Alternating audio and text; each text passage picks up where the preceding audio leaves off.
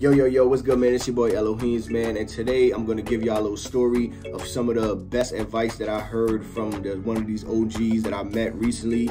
I worked with this dude, right? So we're going to get straight into the story, right? So I met him for the first time, and this dude is 65 years old right now, and he was working two jobs, right? He retired from one job. He was working there for 30 years, and then he's about to retire from another job that he's been working for 22 years. So he was working both jobs and also doing overtime.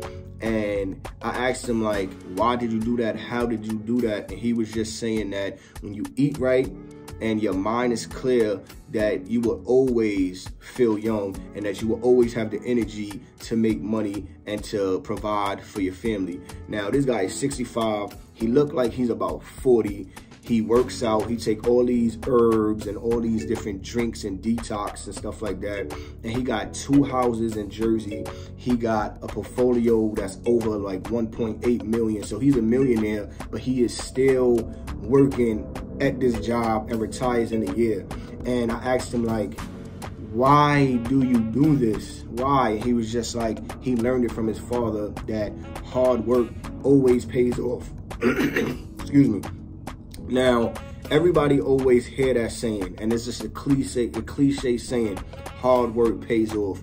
And everybody always think like, of course it does, but none of us really put that mentality into use.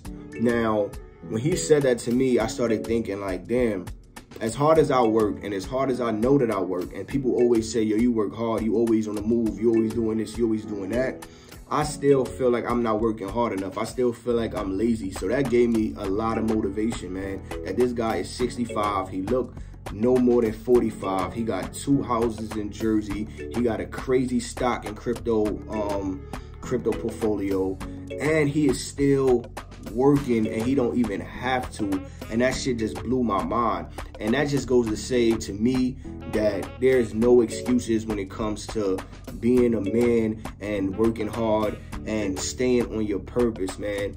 And that just gave me motivation. And I just wanted to give this to y'all because maybe this could motivate somebody else that no matter what you're going through, no matter how you feel, hard work will always pay off at the end. Hard work will always pay off at the end. I had to say it twice to let the people know in the back, like how, how passionate I am about that and how he he just lit the fire to me and triggered my brain to just start thinking that way because it, it, it's just crazy, man. I know I work hard, but I could always work harder. I know I work hard, but there's always somebody out there that's working harder than me. And it's like, I gotta keep up with the consistency and the passion that that that got me to where I am now when it comes to music and this little YouTube thing that I'm starting right now.